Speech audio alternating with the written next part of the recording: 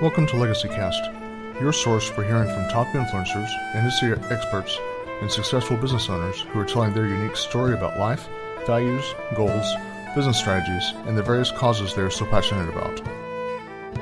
Future generations will come to be impacted by what is happening today, whether positive or negative, and our mission is to focus on what is going to affect change for the better. Hosted each weekday by James Snow, a former U.S. Army combat medic, now founder and principal advisor of James Advisors Group, a full service financial planning firm in North Texas. This is Legacy Cast.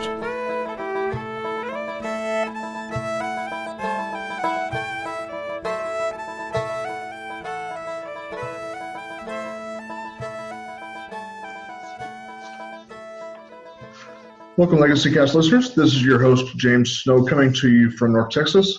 And I have with me a friend of mine, Matt Sapula, and uh, Marine Corps veteran, which is an exciting thing. I always love having Marines on the program. Uh, any veteran, of course, is a good one, but you know, Marines they, they like to make a big hole for us Army guys to, to go into. So uh, we, we love us and love us in our heads.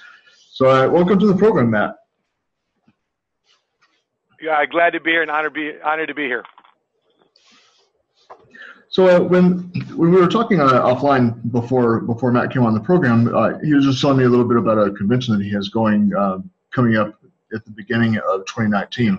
So if you can just maybe just give us a little little info about that, uh, Matt, uh, the convention going on in San Antonio, I think you said.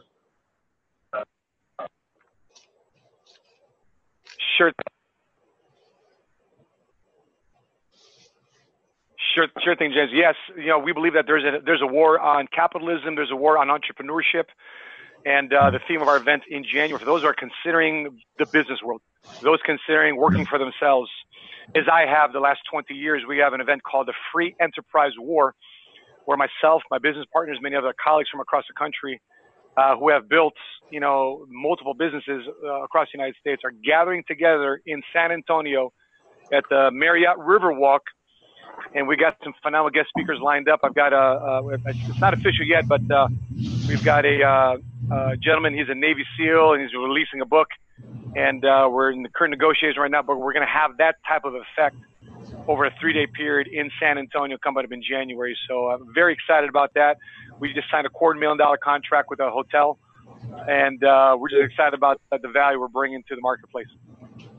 That's exciting. Uh, yeah, I remember that, that hotel there uh, when I was stationed down in San Antonio. You know, when I was back in my combat medic training days, you know, I was stationed down there at Fort Sam Houston, and we spent a lot of time down down at the Riverwalk. So I know exactly uh-huh. what you're talking about. You know, nice setting for you to be having that thing. So perfect, perfect. That's awesome. So uh, here on the on the program Legacy Cast, you know, obviously, you know, we we finance guys, we we kind of have a, a, certain mindset when it comes to legacy. But when you when you hear that term legacy, uh, what what comes to mind for you first of all? So I think legacy. I think you know your last name. What does your last name mean? What is your handprint on the world? What is what is your you know what was your drop in the bucket ripple effect that's going to affect not only your current life but those that you love and care about and the second, third, fourth, fifth generation away from you. Um, did you leave the world better uh, when you en- when you left it than when you first entered it. You know, so I, I think legacy is a responsibility. I think legacy is something that uh, we should constantly be thinking about. Not to say that your life is ever going to be perfect, but uh, it's also the sharing of family wisdom that everybody has a different experience, and depositing those experiences and the lessons learned from those uh, can help better serve that uh, you know the, the community that you're part of, whether it be your blood DNA family or the people that believe in you type of family. Yeah, well, very well put. Uh, you know, I always like to tell people, you know, it's it's kind of like your story. Uh, it's your story being told your way about all the things that, that you were passionate yeah. about, that you did to make the world better, and you know that story being told. You know, like you say, you know, three to seven generations. Yeah, I, I, like to look at, you know, I try to look at a seven generation span there because this, that's, that's the kind of impact that we should be should be trying to, to put out there. Yeah, and the, the the powerful thing, like for example, this podcast, you know, once you publish it and you put it out there to the world, you know, um, who knows who's going to run into it 50 years from now? It could be your children. It could be my children, children's children. And so we're actually speaking out to that legacy, you know, and uh, let's see what our, our legacy thinks about it, you know, 50, 60, 100 years from now when they stumble across. That's true. That's true. And people should be very mindful you know, about, about what they're doing and, and deliberate, I think. So uh, do, you, do you feel like uh, people should, uh, should really put some deliberate and intentional uh, action into or, or thought into what they're doing for a legacy? I, I, for me, I, I think so, but I think early on in our lives, I think we don't think about it. I think we're caught so much in the survival phase of life um, where you don't think legacy. So, uh, so make uh, short answer, yeah, 100%. I believe that everybody should be thinking about legacy. You know, I mean, I'm, I'm, you know, I'm in the finance. We're in the finance world. I'm in the insurance industry. It's all about planning for worst case scenarios so we can pass on at least a financial inheritance to the people that you love and care about, that they're provided for. Um, and, and, so 100%. I, and I think when people don't plan on legacy, so it's either you're going to pass on a blessing or you're going to pla- you're going to pass on grief. Right. And I think uh, sadly a lot of people pass on grief and one generation away, two generations away, people forget about you mm-hmm. uh, because you did nothing to impact. I mean, uh, you know, my, my, my great grandfather, my great great grandfather, I don't know them. Our family comes from the Philippines. I couldn't tell you, I can barely tell you my grandfather's name. And I definitely can't tell you my great great grandfather's name.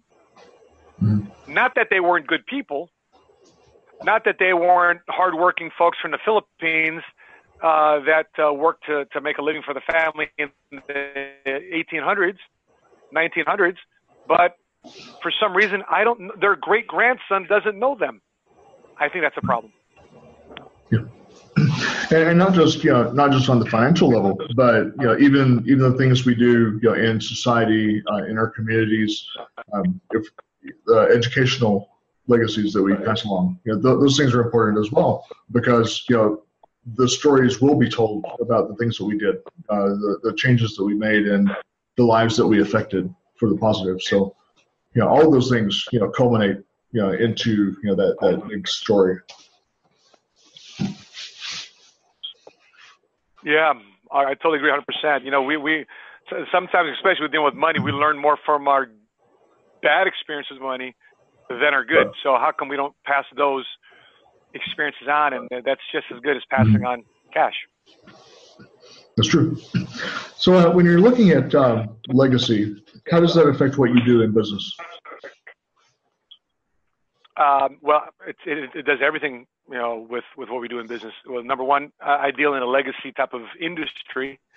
Mm-hmm. And then number two, from a business planning standpoint, talk, talking to entrepreneurs, you know, what is, what is your succession plan? How do you hand down, you know, well, when, when you ride this pony, you have an exit strategy, right? Who's going to be taking over your business or does your business die with you? Does your legacy die with you, or do you have somebody carrying on that torch? And so, you know, we're we're very thoughtful of it. I mean, you know, we're we're three weeks away from getting together with my mentor to go over my business plan for 2019. You know, I mean, business plan. Uh, well, yeah, business plan because I have a plan for what's going to happen in 2019 because that has a that has a um, a ripple effect and goes on in 2020, 2030, and, and sometimes people don't even think, uh, you know, 10 years ahead I remember sometime uh, uh, I was I was still in the Marine Corps. So what is your life going to look like five years from now? I said I, I could I can barely get past today, right. let alone what's going to happen five years ago. But I think if people think more legacy and they think of what their life is going to look like, I just asked a business partner of mine today, "What do you want?" He goes, "I don't know." Well, if you don't know what you want, or you don't you don't know what your legacy wants, or what your legacy should look like, guess what's going to happen? Nothing. Right. Right. And then and then you check out and your name goes away like dust. And for some people that's that's important. For some people that's not. I think it's important. You think it's important, but you know I, I think it's I think a lot of us are driven by like unconsciously the fact that we uh, we want to be respected, that we want to be known. But unless you do something about it, that's not going to happen. That's true. That's true. And and that leads me towards uh, one of one of my next questions is as far as uh, the, the business plans and the financial plans, you know, a lot of a lot of people, and, and unfortunately, I've seen it with, with our veteran communities, is a lot of people starting a business and then they don't have that framework. They don't they don't have the business plan and the financial plan put into place. Uh, you know, how, how would you answer you know that situation? You know, it's it's it's uh, how can we take the best of what we learned in the military, extract it, and apply that to our regular civilian world. And, and for some guys, they've left the structure behind. There's a reason why we follow an SOP, right. a standard operating procedure that any 18 year old can hold this weapon, can read can read this order, can can delegate the order, can make sure the orders carried through and supervise and, you know, and all that stuff. How come we don't apply that to our regular our, our regular life when we get out the military? So I, I think a lot of that can be transferred over. It's just that we don't have the community when we leave because you know when when we're in in the in the military, you got your brothers, you got your unit, and if you don't remember, somebody around you is going to help remind you. Well, when you leave the military, you don't you lose that support network, you lose that camaraderie, you lose that brotherhood that's and the, the, the ladies of sisterhood of being part of something bigger than you. And I'm thankful of podcasts like yours that is creating a community that people can get mm-hmm. back together and at least there's a voice. Yeah. Yeah, I appreciate that. Yeah, and, and I totally agree that yeah, that, that was especially you know part of part of my transition struggle was you know just not having that community and and that's very similar for a lot of a lot of the veterans that you know when they came back home is just not having that and so you know I, I totally agree with you there. yeah, I've I've I've been out. I've been out now, you know, ten plus years. I am just now connecting to the veteran community. It's been a, the last couple of years I've been connected mm-hmm. back to the veteran. I wish I had when I was coming out active duty. There was never a direct resource, a community of right. brothers and sisters in the military that, that wore the uniform that said, okay, here's what to expect. Mm-hmm. Here's some opportunities here's here's what you need to avoid. Here's where you need to get your shit together. Like I didn't have that. I had to figure out and fall you know fall on my face and realize that when you get out, nobody gives a shit, which is too bad. You know, uh, we like like nobody cares if you're a sergeant. Nobody cares if you're a lieutenant. Nobody cares if you're a major. You might if you don't if you don't care enough about you, you're driving Lyft for a living. You know what I mean? That's your transition plan in the car by yourself driving other people. But if you want legacy, something that you need to connect yourself into in terms of a community. Yeah, yeah, spot on. so, as, as a CEO and an entrepreneur, uh, what would be maybe? Are there a few things that still keep you up at night when you're with your business? Yeah, the biggest thing that kept me up at night is customers. You know, when I first got out the Marine Corps, I got involved in the insurance industry. I was like, shit, who do I sell to? The, right? I was I was 25 years old, 26 years old. I I had nobody I had nobody to sell to. I, I had nobody to to help me with sales. I was learning this craft all by myself. Uh, so that's definitely what kept me up at night. So learning marketing, mm-hmm. learning business development, learning um, learning my craft outside of just being an insurance agent slash financial advisor. Uh, right? I had to learn all aspects of this. Like, there's no such thing as a job description as an entrepreneur. Everything is your job description. Yeah. everything's your everything's your responsibility. And so, until I, fi- I found a way on how to sell, uh, I found a way to handle and deal with rejection on how to handle um, infrastructure and creating infrastructure within inside my business, I was constantly in a position of frustration. But uh, you know, thank God for learning those things, and and uh, I was aware that I, I, I needed to, some guidance. Once I figured that stuff out, but I, I think it took me like five, six, seven years to to get my head out of my ass. Yeah, I, I can certainly relate with that personally as well. So, what, what do you think maybe um, are some of the, the reasons why um, entrepreneurs are failing in their endeavor of know, starting a business or, or just giving up in general? Um, I think